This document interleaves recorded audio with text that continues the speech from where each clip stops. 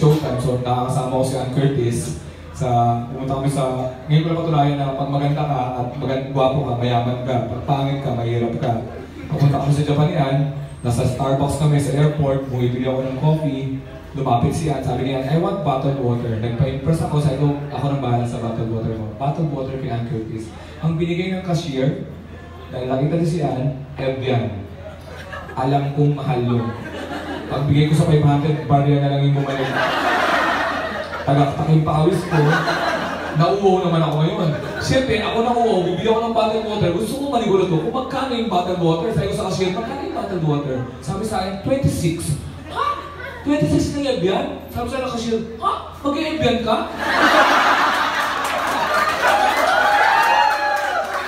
Ano ibigay mo sa akin? Ito, Nature Spring.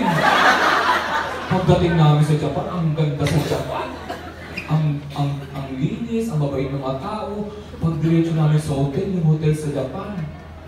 Ang ginagawa ng mga Pinoy pag dumarating sa mga hotel, pumunta sa toilet, kinukuha yung shampoo, conditioner, lagi sa bar, tatawag sa reception. Pero yung kanina tatlong set, ah, mabilis kami gumamit eh. Nakakita ko sa hotel sa Japan, si Shiseido. Shiseido, yung malaki. Hindi ko agad maneno, kalata-kalata, ang laki pa ng mukha ko. Para daw, ang ginawa ko, lumabas ako, bumili ako ng ziplock, hating gabi na. Lola. Ah, ang bilib ako doon ng CR. Pagbukas mo ng CR, umaangat ka agad yung Umagat ka agad yung toilet seat. Tapos pag umupo ka, umiinit yung upuan. Dito pag umupo ka, iinit yung ulo mo eh. Pindut, ang daming pindutan, high-tech. Pag mo to, may baba mo. Pag mo, may ano, may, may aalog yung ano, massager. Pero ang pinakagusto ko doon, yung bidet. Paglabas ng tubig, alam na kung saan tatama. Nagsako sa butas. Tatlong oras ako naghugas. Pinistog ko yung pagkalalaki ko. Kahit pinaka-adjust ko, sumusunod yung tubig eh. Natutulog na ako, gumagawang pa yung tubig eh. Ang saya, ang saya. Hindi ko lang talagang nasa Malaysia ako. Iba talaga ang Pilipinas. Sa Malaysia, pag nagsapunta sa public toilet, turinggit, ihi, tae, turinggit. Iba ang Pilipinas. Iba ang presyuhan natin sa mga... Pag nag-CR ka dito, limang piso ihi, sampung piso tae. Mas mahal ang tae sa Pilipinas. Biruin mo, 10 years ago, piso lang siya. Ngayon, 10 piso na siya. Dahil pa niya ang Bitcoin. Kung nag-invest ka sa tae, ang yaman mo na ngayon. Awang-awa ako sa supervisor sa loob ng CR na yun. Paano pag may umiit, tapos naihi, sisili pa siya itantado ka, 15 yan ha.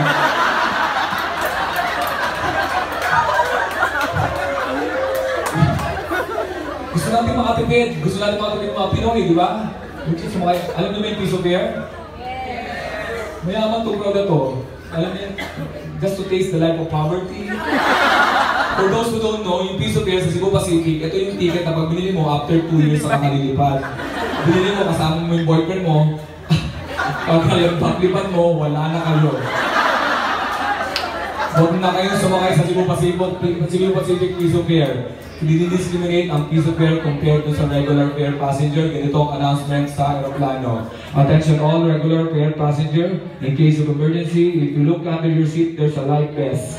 To all of fare passenger, in case of emergency, repeat after me. Our Father. To all regular fare passenger, laboratories available at the back and front of the airplane. To all of fare passenger, limang piso iya, samang piso tayo. Napakasi... Nap alam mo, ngayon ko sa Pilipinas, ako po, ano, ako po yung writer din ng mga teleseries. Sino ba nanonood ng teleserye dito? Yan, no? Ngayon mga hindi nanonood, manood kayo, marami kayong matututunan sa teleserye namin. Ang una niyo matututunan, magbabait sa iyo driver mo, siya ang tunay mong ama.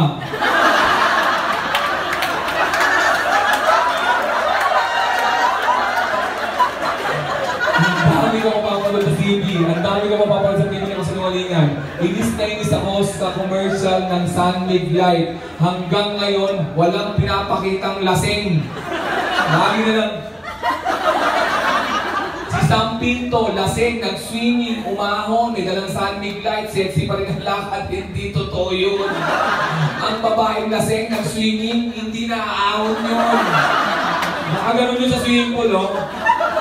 Gusto mo ako? Luzon ba? Kaya pag ako gumawa ng commercial ng beauty, totoo lang, parang ganito lang. Red Horse, ito ang tama! Ay, mahal na mahal ko siya. Iba ang suka ng mahirap at mayaman. Ang mayaman, pag sumuka, napansin ko may steak, caviar, pizza. Ang mahirap, pag sumuka, green lang. Tapos may dingdong.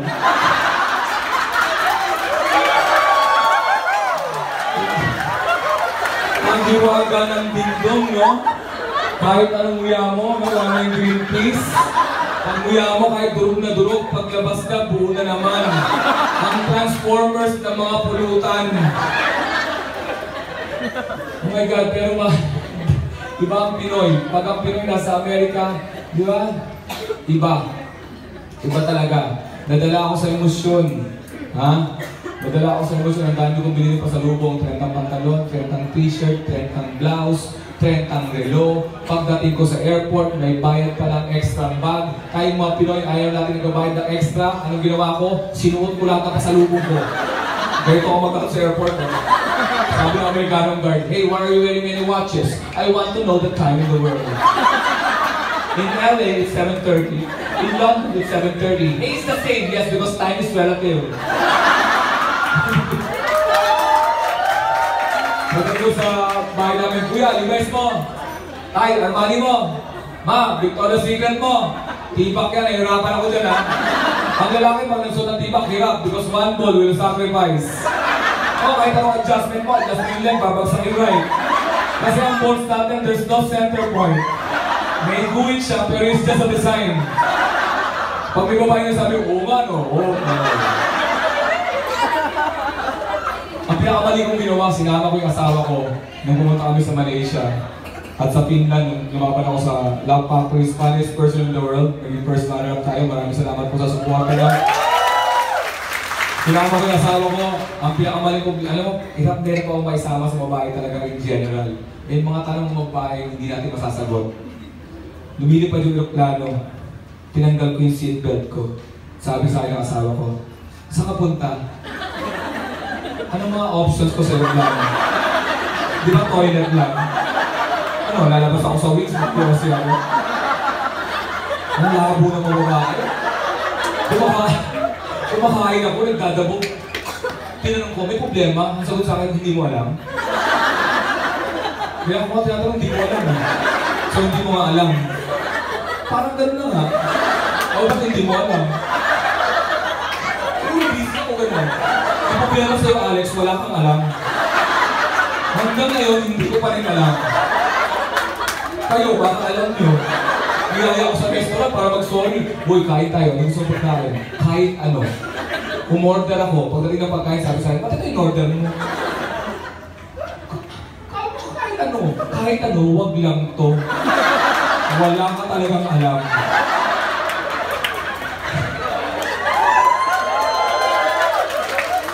Unfair. Unfair. Unfair.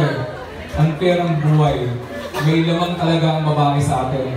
May magagawa ang dalawang babae na hindi magagawa ng dalawang lalaki. I've already admitted that. Bakit? Ang dalawang babae, naglalakad sa mall, pwedeng magsubuhan ng ice cream, walang ang ganda tignan.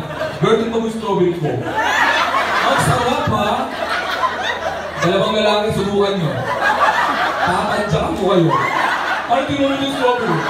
Sarap ha! Sa Boracay, sa Boracay, dalawang babae na to, pwedeng magabulan to na naka-two-piece. Ang ganda, magawa ka sa bed. Girl! Subukan yung magabulan. Ano, ano?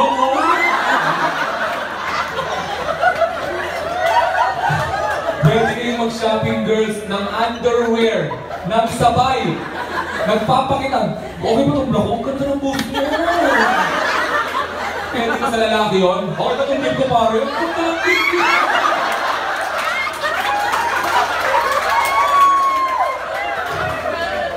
Lamang ang babae, we have to admit, ang baba, ako pagkaaway ko ang asawa ko, pag umiyak ang babae, ibig sabihin, tigil na yung away kasi nasasaktan na ang babae pag umiyak. Wow, advantage! Baliktarin mo, lalaki ang umiyak, anong ibig sabihin? Guilty!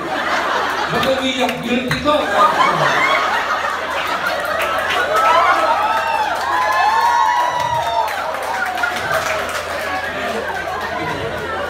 Babae may power, promise. Dahil sa boobs ng babae, powerful yan, girls. Use it to your advantage. Pwede yung masunog, pwede masunog ang bahay.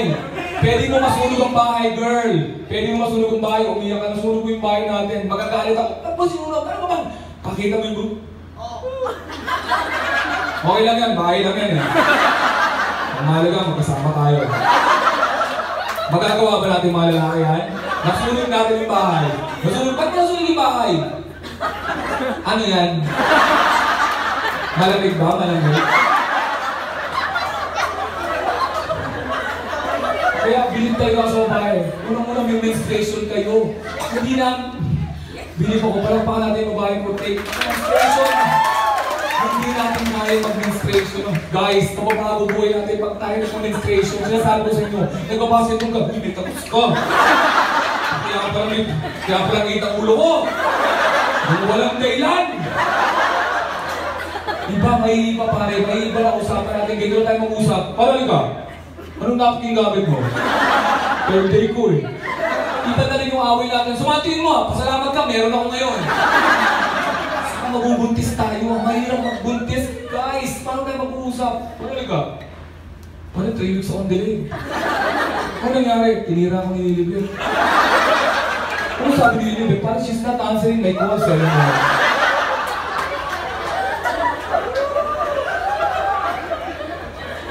Kailangan, I'm, I'm married, nako, lagi kong namumblema ako sa mga babae pare. Nagpapasimula sila lagi ng gulo. Sa mga married couple dyan, kung may mga kayo, pag-isipan nyo. Nanonood ako ng TV, Sunday, it's peaceful. Papasok yung asawa ko, may dalang dalawang sapatos. Sasabihin sa akin, ano mas bagay sa akin? Itong red shoes o yung black shoes? Sabi yung red shoes. So hindi bagay black. Ang tagal na sinusuot ko. Ba't ngayon mo lang sinabi?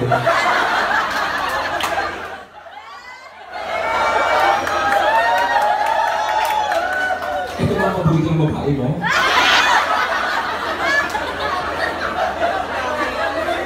Ganyan, ganyan mo yung asawa ko, sese namin, tatawanan kami, pinakita yung trailer ng ikaayon na utos. Nagbag.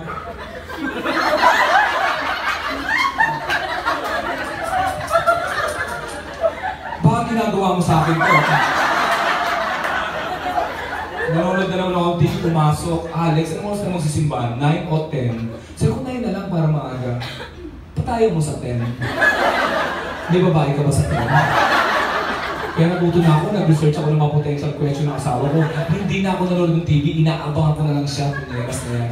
Pagpasok niya, ang tanong niya, Alex, mahal mo ba ako? Ang galing. Sabi ko, oo naman, mahal kita. Okay, may follow-up question ako. Halimbawa, hindi tayo nagkatuluyan. Nagkaroon ka ng asawang iba. Mahal na mahal na mahal mo siya. Naglalakad kayo sa mall. Nasa lubong mo ko. Magkakagusto ka ba sa akin?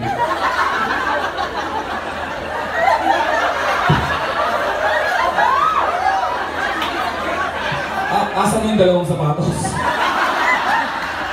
Oo naman, magkakagusto ko sa'yo. So kahit may asawa ka na, magkakagusto ko pa sa iba, hayop ka talaga. Tinitest lang kita. Hypothetical question yun, yung pinanungan mo pa, hayop ka talaga. Iba talaga tayo ng concept ng mababait na lalaki. Savings. Ang lalaki, hindi gumastos ng 25,000, hindi siya ginastos. Savings. Ganun kasimple ang computation ng savings sa lalaki. Ang asawa ko iba, galing sa mall, may dalang bag. Alex, 50,000 to. Naka 50% off. Nakasave tayo ng 25,000. Shopping. Kami mga lalaki, pag lumabas kami at bibili kami ng blue polo medium, pagbalik namin, ang dala namin, blue polo medium. Yung blue may konting variation. Navy blue, dark blue, pero within the vicinity of blue. Ang asawa ko iba, ang babae iba, paalis, sabi ko, saan ka pupunta? Bibili ako sapatos. Ano sapatos bibili mo? Kapag nakita ko siya, alam kong siya ngayon.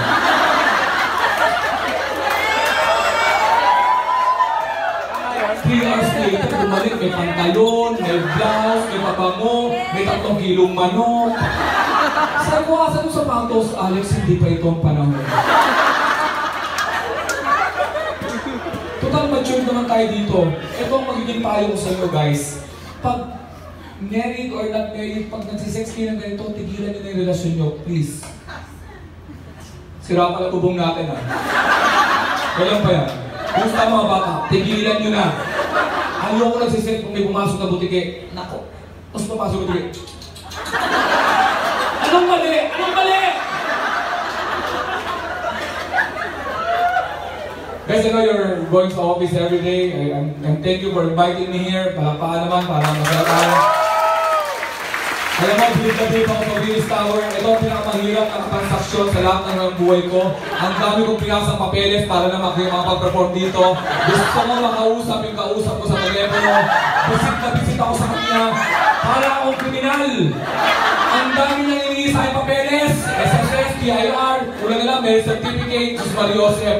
Pero ito naman ang kagandahan dito sa kumpanya na to. Dati kinuha ko, kinuha ko ng St. Peter. Ang bayad 50% ng 50% ng pay, ano yung cash, 50% items. Hirap na hirap ako iuwi yung kabao. Kinakalat ka doon sa street. Pero mas matindi yung St. Luke. Ako sinasabi ko sa inyo, ang binayad sa akin, 50% cash, 50% GC, 30 extra. One month expiration. Araw-araw ako nagpapa-extra. Buti kayo ang binayad sa akin, cash. Ma Maliit pero cash. Mas yun, gusto ko lang mga tawag sa kausap ko. Na hindi ako kilala, hindi talaga kilala. Sino ba kayo? Baka ng ano, pwede bang ano lang, GC na ng Starbucks? 2,000 expiration mami ang gabi. Ano, magkakapi akong tatlong galon? Yung mga sticker, nasangwa ko yung mga sticker. Dumanda na yung barista, pero, Natutuwa ako dahil alam ko, nahihirapan kami sa Pilipinas pero itawa lang natin ito mga kaibigan. Yung nawala yung Uber, naglolo ko na naman yung Uber ngayon. Alam yung gusto ko sa Uber, yung Uber sa Grab, hindi naman yung service nila eh. Yung gusto ko yung application, yung pag nakakuha ka ng kotse, susundan mo yung kotse, tapos dadaan sa bahay mo, lalagpasan ka. Ang tama-tama mo!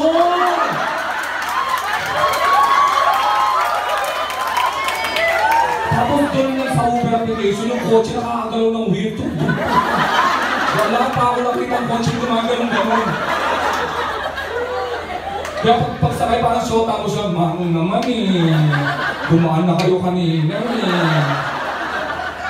Nag-taxi ako, gusto kong bigyan ng chance ng taxi mga kaibigan, wala silang pagbabago. Bago ka makasakay, para kang nag-exam sa UP sa mga tanong. Humara ako, Boss Quezon City, set traffic ba doon? hindi naman, hindi naman. Kaya pag naranasan nyo to, please lang, ganito ang gawin nyo. Ayoko maranasan to, may sagot na tayo sa kanila. Pag pumara kayo, No, Quezon City. Sir, papunta ako Alabang eh. Ah, ba? O sige, punta na yung Alabang. Ako na lang mag-a-adjust. Matagal na ako hindi nakakapunta dyan eh.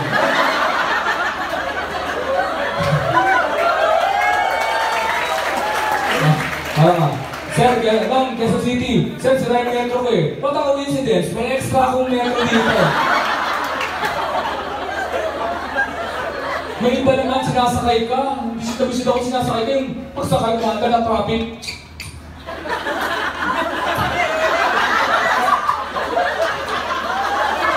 Gusto ko na, no, pasensya na. ha? Hindi ko naman akalain mo dadala ko kayo sa buhay ko. Tinisin nyo na tulad ng pagtitiis ko sa amoy ng taxi nyo. Standard ng amoy ng taxi dito. Alam mo yung amoy ng taxi dito? Alam mo yung tutang di natuyo? Nilagay mo sa drum, tapos may nag-basketball na kuya mo, hindi natuyo, ihalo mo doon. Tapos paarawan mo, takpan mo, tapos tatlong oras, umuunang singaw, ganun yung amoy ng taxi.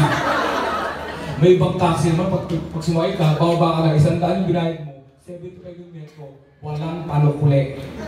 Huwag kayong bumaba. Ubusin niyo yung sukli sa loob. Doon kayo maglaba, doon kayo mag-sex, doon lahat. Magtawag kayo ng kapitbahay, tara, tara, tara! Malamig dito!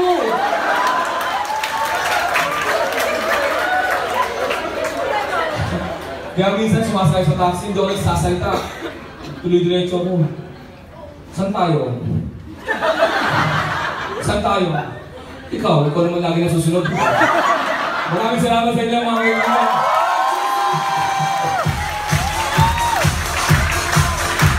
me, I would like to apologize. Hindi talaga ito yung boses ko. Hirap hirap yung boses ko. Pauso ako ngayon. Stuff. Please support, um, please support um, Showtime Going Bulilit. We're trying to promote this kind of comedy. Comedy Manila. We're just making jokes without hindi kami nag-insulto. Wala. And we're, I'm, I'm behind Funny One para ma-discover ng mga new comedians. If you're happy with Donna, I'm happy also. If you're happy with James If you're happy with Brian we're coming Manila. We have Brian Rems, we have Anthony, the magician, we have James Karan, we have Chibi Labrador, kayo na nandito, the first international uh, Pinoy in, in Melbourne. We're doing a lot of shows all over the metro. Kung ngayon nyo lang nalaman, that's the point. now we're doing, we're doing some of free shows kasi we're trying to change the landscape of comedy in the Philippines because we believe that ang Pinoy deserves better. Kaya yun po, Uh, slowly, we're entering mainstream. Supportan niyo po by watching us uh, from Check Comedy Manila. Um, Magic 89.9 every Tuesday, Taco Tuesday. Good Times with Mo will be back next year. Kung na nakikinig ng podcast. Lakas Tawa, the book is out. I also have uh, two shows sa cinema. One is uh, Laka, Pari ka Pari ko and Lakas, uh, Lakas Tawa also the show. And please watch By Bus, Ann Curtis, directed by Ann, uh, Eric Mati. Ano po ako. Maraming po salamat and enjoy the rest of the evening. Thank you very much.